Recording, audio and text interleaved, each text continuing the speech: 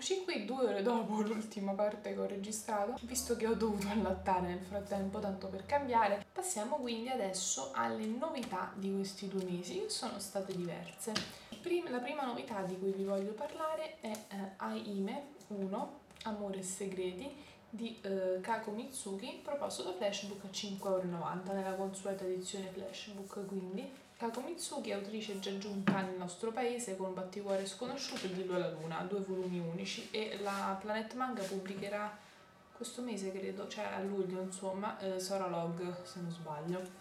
Kako è un'attrice di shoujo molto tradizionale, da un tratto tutto sommato ancora abbastanza impersonale però piacevole. La storia in realtà è abbastanza un po' trita perché abbiamo la protagonista che si troverà a vivere da sola perché i genitori partono per lavoro, non mi ricordo bene, e eh, si innamora a prima vista mh, di un ragazzo un più adulto di lei. Poi per poi scoprire poco tempo dopo che questo ragazzo è in realtà suo zio che si occuperà di lei durante l'assenza dei genitori. Allè. Quindi amore proibito e variazioni sul tema, insomma. In uno stile però che devo dire questa autrice non mi dispiace perché racconta delle storie tutto sommato molto banali ancora, perché non è che ci siano novità eccelse, grandi innovazioni di trama o chissà che, però le racconta in un modo delicato che è nelle mie corde, insomma. Però devo essere sincera, questo forse è il titolo che finora mi è meno piaciuto di quei libri che ho letto. Mi è sembrato forse il più banalotto. E però ha anche altri due numeri per svilupparsi, quindi bisogna poi vedere dove andrà a parare però lo consiglio o a chi ha apprezzato l'autrice per gli altri lavori oppure magari se cercate uno shoujo per ora che, si, che sembra essere comunque abbastanza disimpegnato una lettura tranquilla, ecco, non è niente di imperdibile. A me piace perché questa autrice mi piace, riconosco però che a parte una certa delicatezza di fondo non è che ha particolari meriti incredibili, però è un manga piacevole. Abbiamo poi una novità secondo me fighissima di questi due mesi che è Attacker Number One di Chikapurano per la J-Pop a 6,50€ a volume. E Attack Number One non è altro che il manga che ha dato origine a Mimi e la nazionale di pallavolo, spero che si legga qui, ok? In questo formatino tanto carino, molto picciolino proprio, cioè se lo mettiamo in paragone per esempio da Ime che vi ho fatto vedere prima, vedete la differenza proprio, è microscopico, però è molto carino e la J-Pop ha detto che in originale era così, quindi hanno riproposto il formato originale. E comunque un bel malloppazzo di pagine perché mi pare sono 320 o giù di lì a volume, quindi 6,50€ mi pare un ottimo prezzo con un'ottima confezione come al solito. Io credo che molti di voi, soprattutto chi ha la mia età e anche più grande, insomma, si ricorderà, conoscerà Mimì e la nazione di pallavolo, insomma, cartone che ha girato varie reti regionali per lungo, per largo e per attraverso e eh, un manga che mi ha stupito, devo essere sincera, un manga sulla pallavolo essenzialmente. È un manga degli anni 60, quindi è un manga storico, assolutamente, che mantiene però una freschezza che sinceramente mi ha colpita. Abbiamo Kozue eh, che cambia scuola per, motivi, per, vari motivi e decide di iscriversi al club di pallavolo. Dopo i primi scontri con altri avversari, eccetera, eh, diventerà una leader della sua squadra ci avremo anche il rapporto con l'amica rivale Midori, prima rivale poi amica, e le varie sfide che questa squadra di pallavolo dovrà affrontare per arrivare comunque ai vertici nazionali. Il disegno ovviamente è assolutamente retro, però particolarmente pulito, molto piacevole insomma. Le tavole si leggono molto bene e sinceramente è una storia di sacrifici, di dedizione alla pallavolo, di amore per lo sport quindi porta tutta una serie di valori importanti anche in un modo veramente piacevole. L'elemento diciamo più romantico che forse ci aspetterebbe in uno shoujo è abbastanza marginale tutto sommato. Quello che è in primo piano è l'amore per la pallavolo e i vari sacrifici che vengono fatti per arrivare a certi livelli, per superarsi, superare i propri limiti. Quindi io sinceramente lo consiglio sia per il valore storico comunque che ha questo manga, voglio dire, sia perché è una lettura veramente piacevole, mi ha sorpreso, l'ho preso per curiosità perché il cartone mi piaceva e invece mi sono appassionata e quindi non vedo l'ora di eh, leggere anche i prossimi volumi.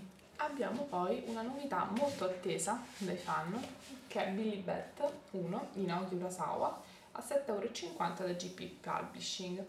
In un'edizione ineccepibile direi se pensiamo a cosa ci propone la Planet Manga 750 voglio dire. Quindi abbiamo uh, questa fascetta che copre la sovracopertina molto carina. Abbiamo la sovracopertina stessa di buona qualità buona carta, ottima carta e un sacco di pagine a colore all'inizio stampate veramente bene. E questi sono i soliti disegni di Urasawa insomma. Un'edizione veramente curata per una storia molto particolare perché eh, è ambientata nel eh, secondo eh, dopoguerra in cui è tutta una storia sempre molto intrecciata come in stile Urasawa in cui un fumettista eh, si rende conto di aver forse plagiato involontariamente, non si spiega come, un'opera già esistente. Da questo incipit in poi, in poi il nostro uh, fumettista si troverà in, impelagato in una serie di uh, casi di omicidio, segni misteriosi, arcani e distinzioni forse tra bene o male, decisioni da prendere, insomma una storia tantissima carne al fuoco nel primo numero di una storia veramente affascinante, con molti riferimenti al, a un fumetto d'epoca, a Tezuka anche, nuovamente in questo manga ci sono dei riferimenti, e una storia veramente interessante e non vedo l'ora che escono i prossimi numeri perché sono molto molto curiosa. Questo lo consiglio vivamente perché l'edizione poi è, è molto molto buona. Abbiamo poi Beastmaster 1 di Kyosuke Motomi, la stessa voce di Freccia Danzante e Electroshock Daisy, a 5,90€ dalla Flashbook. Un'edizione ottima come al solito, con la sovracopertina che è diversa, è più ruvida, le, le copertine Flashbook di solito sono molto lisce al tatto, particolari insomma, questa invece è molto più ruvida appunto. Non so se mi piace o meno come scelta, sicuramente mi è sembrato strano appena l'ho preso in mano il volume questa è una divertente commedia che si comporrà di soli due numeri, antecedente Electroshock Daisy, e in cui ci sono comunque già eh, presenti tanti spunti divertentissimi di questa autrice veramente fuori di melone per tante cose. La cerbottana di precisione va bene, è stata qualcosa di fenomenale. In pratica abbiamo una ragazza protagonista che eh, ama tanto gli animali, ma gli animali non amano lei per via delle sue esternazioni un po' di effetto un po' troppo violente e eh, la ragazza poi, inco- scusate ma i nomi io eh, con tanti manga comincio a incrociarli, e incontra il, eh, un ragazzo dal, che sembra avere un carattere bestiale, un temperamento bestiale, ma che nasconde poi sotto qualco, qualcos'altro. E quindi forse finalmente la nostra protagonista ha trovato un animale con cui può rapportarsi senza essere respinta malamente. Da questo presupposto molto insolito nasce una strana accoppiata e nascono una serie di situazioni molto divertenti che andranno poi anche a fare riferimento al passato misterioso eh, del protagonista. Una storia molto, molto divertente, molto carina, sarà in soli due numeri. Il primo mi ha, mi ha conquistato, devo dire. C'è chi ha detto che lo trovo di molto inferiore alle True Shock Daisy per esempio a me non è sembrato, io mi sono comunque divertita tanto e quindi sinceramente aspetto il secondo volume per dare un giudizio definitivo, però per ora mi sento di consigliarlo. Passiamo poi a un altro manga che io trovo stupendo, sono contentissima se è stato pubblicato, sto parlando dei giorni della sposa di Kaoru Mori, edito dalla J-Pop a eh, 5, 6 euro, scusate, a 6 euro. Un'edizione ottima come al solito con questa particolarità della copertina che penso non renda in, in videocamera però la copertina è abbastanza rigida e ha un effetto t- tipo perlato su tutta l'illustrazione illustrazione che continua negli svolti di copertina insomma. Un'edizione pregevole come al solito. Kaoru Mori la stessa attrice di eh, Emma Victorian Romance Emma che eh, se non avete letto vi consiglio caldamente di leggere che è stato pubblicato dalla Dynit e è un'attrice che eh, già in Emma aveva ehm, dato prova di eh, avere una, un talento per la ricostruzione storica e per i disegni incredibile. E eh, qui eh, non si smettisce visto che eh, ambienta questo, questa sua nuova opera nell'Asia centrale del XIX secolo.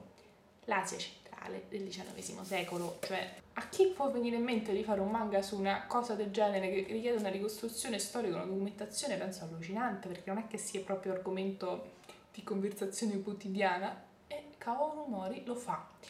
e eh, di, di, cosa decide di parlarci? Decide di parlarci di, di un matrimonio, di una sposa che va appunto eh, in moglie a, in, una, in, un villaggio diverso dal suo villaggio di origine. La particolarità è che la sposa Amira ha uh, eh, 20 anni e lo sposo Karluk ne ha 12. E quindi in questo volume avremo inizialmente degli episodi di vita più o meno quotidiana, anche se alla fine non mancherà comunque un accenno verso una trama più ampia comunque, soprattutto nell'ultimo episodio. Così come Emma è un manga dove non contano tan- tante parole, contano i gesti, i dettagli, le espressioni, conta tanto quello che non è detto ma che si può capire da come è costruita la vignetta e, e ti trasporta in questo mondo che tu penseresti che cioè, io pens- cioè uno penserebbe che non gliene può fregare di meno della Seicentale del XIX secolo, capiamoci. Cioè. Invece Kaoru Mori riesce comunque a trasportarti, a farti appassionare nonostante dica poco e ti prende, non lo so, è un'autrice che io ho amato moltissimo in Emma e che mi, mi confermo il mio amore per lei con questa opera i disegni sono ulteriormente migliorati, cioè già si possono vedere i dettagli del vestito, ma non è che dici ha fatto la copertina bella con tutti questi dettagli. Questi dettagli li mantiene per tutto il sacrosanto volume. Cioè, continuano ad esserci dettagli assoluti del vestito, delle cose. Cioè, basta la prima vignetta qui. È una cosa meravigliosa. Io non so, non so che altro dire è veramente meravigliosa e poi la narrazione si sposterà anche su un po' su altri membri della famiglia comunque.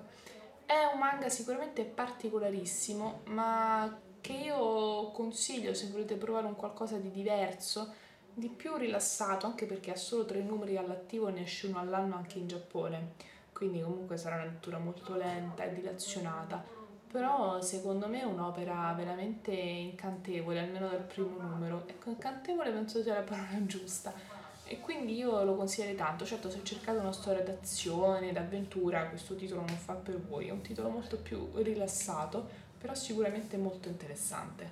Abbiamo poi l'ultima novità di questo mese che è The Climber 1 di Shinichi Sakamoto, pubblicato a 5,90€ se non sbaglio, sì, da J-Pop. Questo manga sul climbing, cioè sullo scalare pareti rocciose o simili, ecco Abbiamo il nostro protagonista, Buntaro, che è un ragazzo introverso, talmente introverso che se avessi potuto l'avrei preso a calci per tutta la durata del volume, ma comunque.